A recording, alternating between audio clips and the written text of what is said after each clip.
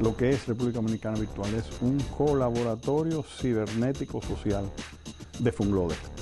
Es un experimento que ya termina su primer año como experimento y a partir de hoy, a partir de estos días, ya pasa a ser algo más permanente.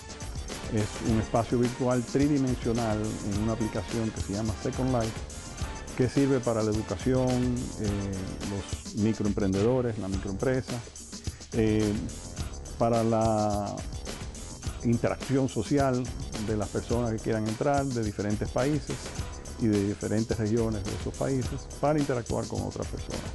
Nuestro campus es un campus experimental, básicamente es un área, es una isla hasta ahora. Eh, en los próximos meses aspiramos a ampliarlo a cuatro islas más. Entonces ahí pues hay una serie de edificios. Funglode tiene una réplica muy parecida a nuestro edificio de Funglode. Eh, una biblioteca, galería de arte, muchas de las instalaciones, aulas, auditorios.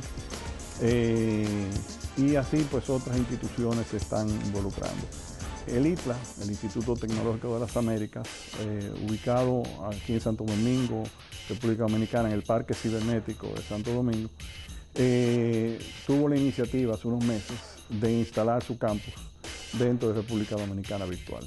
Es parte de República Dominicana Virtual y está anexo a Funglode y al lado está eh, un centro tecnológico comunitario, un CTC, de, el de Villa Altagracia específicamente. Y luego del otro lado eh, hay un área dedicada eh, o para el uso de los estudiantes de filosofía del Departamento de Filosofía de la UAS, lo que se llama el grupo de pensamiento complejo, algunas de las personas lo, utilizan, y de la, unas dos o tres personas de la Academia de Ciencias de la República Dominicana también.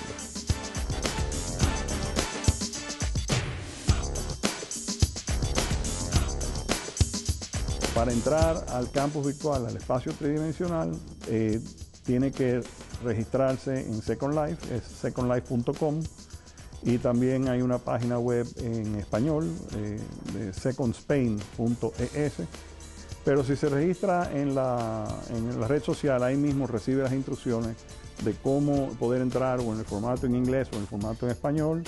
Y ya entra, eh, toma un breve entrenamiento de una hora, a algunas personas le toman más que una hora, a otra gente le toma menos. Eso es entendible porque es un shock tecnológico, eh, en este caso como en otros y luego que entra y tome ese entrenamiento y ya aprende lo básico, pues entonces simplemente a través de un buscador, igual que Google, pero un buscador dentro de Second Life, comienza a buscar cosas. El propósito específico nuestro con, con este experimento que ya va consolidándose como más que un experimento es en el plazo de los próximos 5 a 7 años poder lograr una meta muy ambiciosa pero viable y a bajo costo, que es facilitar que los estudiantes de cualquier parte de la República Dominicana, aún de escasos recursos, a través de la tecnología, ya sea de la PC, las computadoras o los netbooks ahora más baratos y eventualmente a través de celulares con pantalla grande, puedan acceder a cursos, a, a educarse en cualquier parte del mundo, desde cualquier parte del territorio nacional, sobre cualquier materia, con cualquier profesor en cualquier universidad.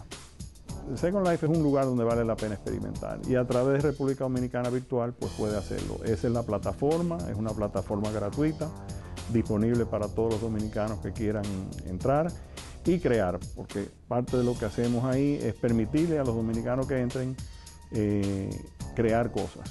Y pues creemos que es una nueva área, sobre todo que no hay distancia ni hay fronteras.